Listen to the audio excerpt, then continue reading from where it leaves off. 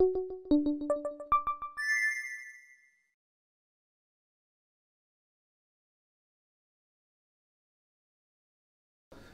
ビッド・ゲリンガスっていう人がこれがロストロポービッチの一番弟子でその人が企画したあのイベントです。メインはバッハのあの無伴奏チェロ組曲と。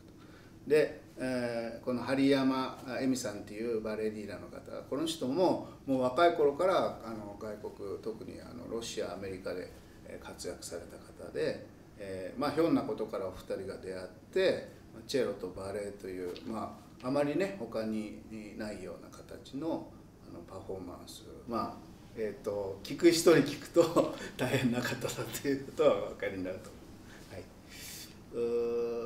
チェロの仲間で、えー、1,000人のチェロのコンサートというのをそれをあの2015年の5月にあ第5回のコンサートを仙台でやろうと計画しております。でそのイベントのプロモーションということは一つとそれからまあそのイベントそのものがあの復興支援になっていると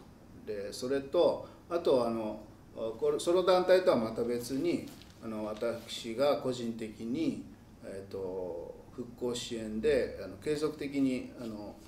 関わっております陸前高田の松原を守る会とその両方に、えー、寄付をしようというふうなあの企画です。えー、明先生とは、えー、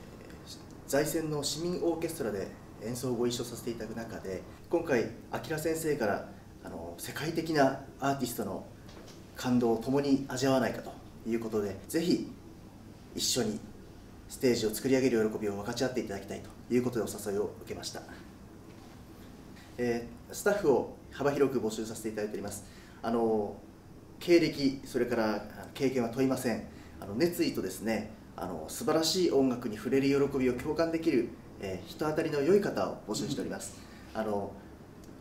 本当にたくさんのお客様がいらっしゃいますのでそつなく、えー、笑顔で受け答えができる方であればあの裏方それから表舞台立つともにですねいろんな仕事がございますのでぜひお問い合わせをいただければと思っております。お待ちしております。